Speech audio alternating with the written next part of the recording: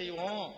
அப்படி இல்லாதவர்கள் இருப்பீர்களே ஆனால் ஒரு குறிப்பிட்ட தொகையை உங்கள் குடும்பத்தாருக்கு தெரிவித்து அந்த நாட்டிலிருந்து தெரிவிச்சு தண்டம் கட்டிட்டு விடுதலை ஆயிட்டு போங்க.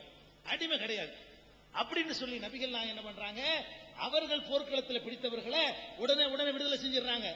வேற போர்க்களங்கள்ல பிடிக்கப்பட்டு விற்கப்பட்டு வருதுல சந்தையில வாங்கப்படுதுல அவர்கள் விடுதலை ஆவதற்கு இப்படி ஒரு வழிமுறையை கையாண்டாங்க. கடைசியில ஒரு முப்பது வருஷ காலத்துல அடிமைய முஸ்லிம் நாட்டுக்குள்ள ஒழிச்சிருச்சு. உலகளாவிய அளவுல ஒழிக்கிறதுக்கு ஒரு லிங்கம் தேவைப்பட்டார் சர்வதேச அளவுல கைதிகள் பரிமாற்றம். இப்ப என்னது? பாகிஸ்தான்காரன் இந்தியாக்காரன் முடிச்சாலும் சரி இந்தியாக்காரன் பாகிஸ்தான்காரன் முடிச்சாலும் சரி கைதிகளை பரிமாறிக்கிறாங்க இப்ப. சண்டையெல்லாம் முடிஞ்ச பிறகு நீ பத்து பேரை விட நான் பத்து பேரை விடுறேன். அப்படின்னு பரிவர்த்தனையில ஓடி போயிட்டு இருக்கு இப்ப. ஜெயில போட்டுறாங்க. அடிமைத்தனம் கிடையாது. இது அந்த அக்ரிமெண்ட்டுக்கு பிறகு நடந்தது. இதுதான் அடிமை விஷயம். அதுல பெண்கள் அடிமையா வந்துருவாங்க. பெண்கள். ஆண்கள் மாதிரி பெண்களை அடிமையா வித்துக்கிட்டு இருக்கிறாங்க. விற்கப்படுது சந்தையில பெண்கள். அப்ப பெண்கள் அடிமையா வரும் பொழுது அந்த பெண்கள் இவர் வீட்டுல கைவசத்துல இருக்கையில என்ன நடக்கும் தெரியுமா? விரும்பினாலும் விரும்பாட்டாலும் இவன் ஆம்பளைங்கிறத காட்டதான் செய்வான். ஆம்பளை வேலைக்காரிட்டே எப்படி நடக்கிறான. ஆம்பளை எப்படி நடக்கிறான்? வேலைக்காரிங்கிற அடிமை இல்ல. காசு கொடுத்து வாங்கல. ஒரு வீட்டுல வேலைக்காரி இருந்தா கொண்டாட்டி வீட்டுக்கு போற நேரம் பார்த்து என்ன செய்வான்? சில்மிசம் பண்ணுவான். இருக்கும்போது பண்ணுவான். இது ஆம்பளைட்டே உள்ள ஒரு குணம். எல்லா ஆம்பளையுமே சந்தர்ப்பம் கிடைச்சா அவன் யாருன்னு காட்டிடுவான்.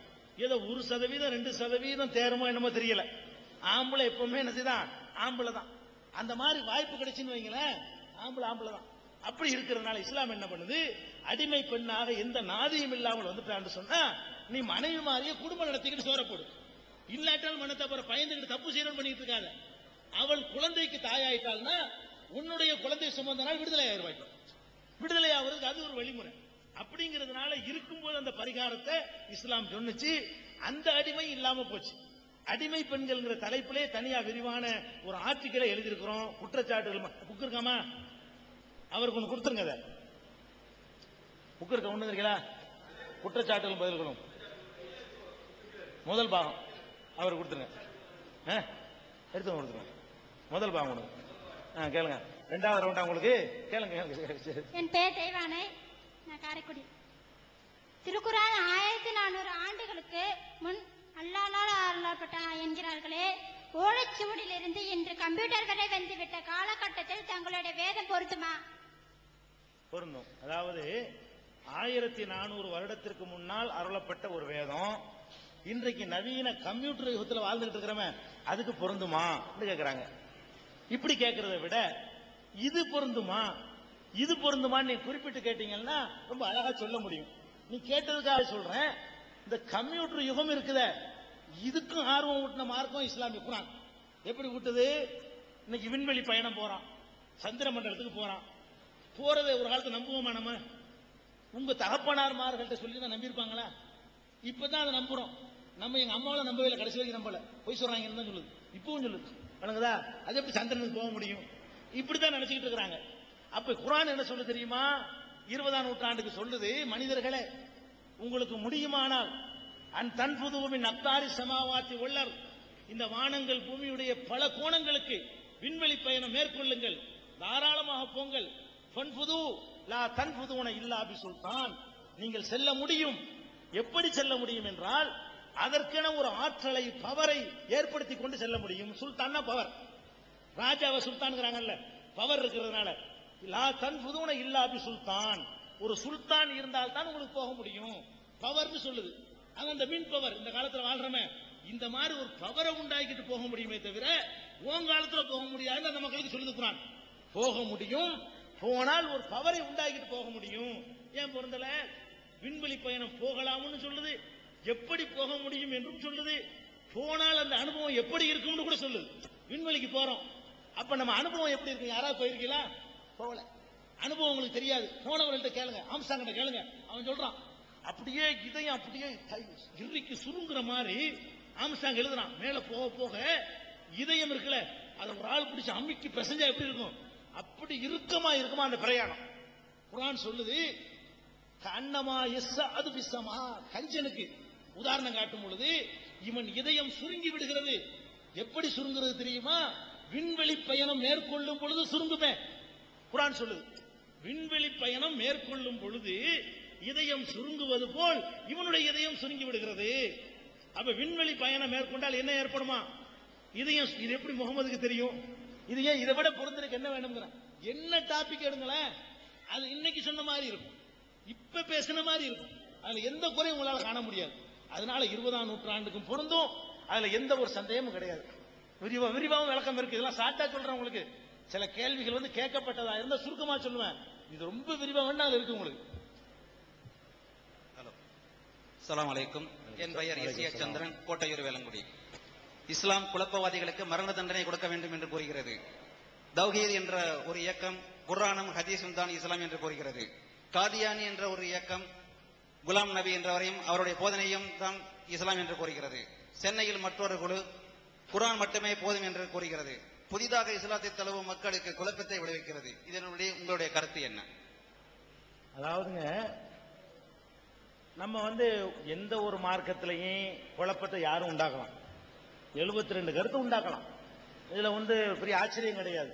அவ்வளவு வேணா ஒரு அரசியல் இயக்கம் பெரியார் உண்டாக்கின திராவிடர் கழகம் என்பது திராவிட முன்னேற்ற கழகமா போய் அப்புறமேலு திராவிடர் கழகம் அது ரெண்டா போய் திராவிட முன்னேற்ற கழகம் அப்புறமேலு அண்ணா திராவிட முன்னேற்ற கழகமா போய் அப்புறம் மறுமலர்ச்சி திராவிட முன்னேற்ற கழகம் போய் அப்ப மக்கள் திராவிட முன்னேற்ற கழகமாக அது ஒரு பக்கம் போய் இப்படியே போய்கிட்டே இருக்குது. முஸ்லீம் லீக் இந்திய முஸ்லீம் லீக் இந்திய யூனியன் முஸ்லீம் லீக் தமிழ் மாநில முஸ்லீம் லீக் அகில இந்திய முஸ்லீம் லீக் இதெல்லாம் அவன் அவன் வசதி போல நிர்வகிக்கிறான். கடவுள் நமக்கு அறிவை கொடுத்திருக்கிறார். அதை கொண்டு ஒரு நடுநிலையை ஆராய்ஞ்சு பார்த்தோம்னு சொன்னா உண்மை என்னன்னு நம்ம கண்டுபிடிச்சிக்கலாம். நம்ம மட்டும் நம்மகிட்ட மட்டும் மிஸ்டேக் இல்லாம கரெக்ட் ஆய்வு பண்ணோம்னு சொன்னா இதுல எது கரெக்ட் அப்படின்னு கண்டுபிடிச்சிக்கலாம் இப்ப குரான் மட்டும் போதும் ஒருத்தன் சொல்றான். குரான் மட்டும் போதுன்னா நபி அவர் தானே அதை கொண்டு வந்தாரு. அவரை புறக்கணிச்சுட்டு குரான் மட்டும் போதும் எப்படி சொல்ல முடியும்? ஒரு சாதாரண ஒரு லாஜிக் இது. அவர் மேல உள்ள நம்பிக்கையை வச்சுதான் குரானே கடவுள் அதை நம்புறோம். அப்படி ஒருத்தன் சொன்னான்னு அது தவறுன்னு போயிடுச்சு. நபிகள் நாயகன் தன்னை கடைசி நபின்னு சொன்னாரு. ஒருத்தன் வந்து நான் இப்போ ஒரு நபியா இறை தூதரா வந்திருக்கேன்னா தவறு பளிச்சுன்னு வழங்குது அப்போ இஸ்லாம் வேணும்னு நம்ம நினைச்சோம்னு சொன்னா அந்த குரானையும் நபிகள் நாயகத்துடைய அறிவுரையும் ஆய்வு செஞ்சு பார்த்தோம்னு சொன்னா இந்த குழப்பங்களுக்கெல்லாம் தீர்வு கிடைச்சி போயிடும். இருக்கத்தான் செய்யும். நம்ம கொஞ்சம் நடுநிலையை ஆராய்ச்சி பண்ணோம்னு சொன்னா எது உண்மைன்னு கண்டுபிடிக்கலாம். அப்படிதான் எடுத்துக்கொள்ளணும். என் பெயர் செந்தில்குமார். பத்தாம் வகுப்பு படிக்கின்றேன். Azad matriculation school Karaikudi. குரானில் கல்வியை பற்றி நிறைய சொல்லி சொல்லப்பட்டுள்ளது. ஆண் பெண் இருவரும் கல்வியை கற்க வேண்டும் என்று சொல்லப்பட்டுள்ளது. ஆனால் இஸ்லாத்தின் இஸ்லாத்தின் பெண்கள் பெண் கல்வி மட்டும் பின்தங்கப்பட்டுள்ளது ஏன்? அது மத கட்டுப்பாடு மத கட்டுப்பாடு தானா மத போதர்களின் துர்போதனைகளா? அல்லது படித்த பெண்களை கட்டுவதால் தயங்கமா? விளக்கம். அதாவது இது சுருக்கமாக சொல்றதுனா விளக்கமா உங்களுக்கு கேசட்ல இருக்கு. பல ஊர்ல சொல்லப்பட்டது. பெண் கல்வி இஸ்லாம் மறுக்கல. சொன்ன ரைட்டு தான். ஆம்பளையும் படிக்கணும் பொம்பளையும் படிக்கணும். இந்த இஸ்லாமிய மார்க்கத்தினுடைய பெரும்பாலான சட்டங்கள் நபிகள் நாயகத்தினுடைய மனைவி ஆயிஷா அவர் மூலமாக தான் எங்களுக்கு கிடைச்சிருக்கு. அவர் தான் எங்களுக்கு ஆசானா இருக்கிறார். அந்த மாதிரியான ஒரு மார்க்கம் இஸ்லாமிய மார்க்கம். ஒன்னே ஒன்னு இஸ்லாம் சொல்லுது. என்ன சொல்லுதுன்னா படிப்பா இருக்கட்டும் வேலையா இருக்கட்டும் ஒரு சபையா இருக்கட்டும். ஒரு ஆணும் பெண்ணும் தனித்திருப்பது மாதிரியான ஒரு சூழ்நிலைகளை எந்த கட்டத்திலும் உருவாக்காதீர்கள். அதனுடைய டேஞ்சரை வந்து இன்னைக்கு உலகம் ஒத்துக்கிறது விளங்கிட்டு வருது. என்ன சொல்லுது? கோ எஜுகேஷனுங்கிறான் ஆணும் பெண்ணும் ஒன்னா படிக்க விட்டுறான். கடைசியில் என்னடான்னு பார்த்தா பெரும்பாலான ஆண்கள் வந்து அந்த பெண்களை தவறா யூஸ் பண்ணியிருக்கிறாங்க. அது ஆய்வுல தெளிவுபடுத்தி இந்த கோழிக்கோட்டில் கூட ஒரு ஆராய்ச்சி பண்ணாங்க மாணவிகள்கிட்ட அப்ப அவங்கள ஒத்துக்கிறாங்க. தவறான முறையில யூஸ் பண்றாங்க. வாத்தியாரும் மாணவிய மாணவிய பார்க்க மாட்டேங்கிறாரு. பொம்பளையா தான் பார்க்கறாரு. சக மாணவன் வந்து மாணவிய ஒரு தன்னுடைய தோழியா பார்க்க மாட்டேங்கிறான். நான் ஆம்பளை நீ பொம்பளைன்னு தான் பார்க்கறான். ஒரு மதகுரு இருக்கிறார அவர் கூட தன்னுடைய சிசிய கோடியா இருக்கிற ஒரு பெண்ணை சிசியன்னு பார்க்க மாட்டேங்கிறாரு. நான் ஆம்பளை நீ பொம்பளை. சந்தர்ப்பம் கிடைக்கும் போது சந்தர்ப்பம் இல்லைன்னா எல்லா விஷம் போட்டுக்கலாம் ரெண்டு பேரும் தனியா இருக்கிற நேரம் வச்சுன்னு வைங்களேன் அப்படித்தான் இருக்கிறாரு. இதுல யாரும் விதிவிலக்கா இல்லை. படித்தவர்கள் படிக்காதவர்கள் எந்த வேறுபாடும் இல்ல. அப்படி இருக்கிறதுனால உரிமை சுதந்திரங்கிற பேர்ல இழந்துட்டாங்கன்னு சொன்னா பெண்ணுக்கு தான் பாதி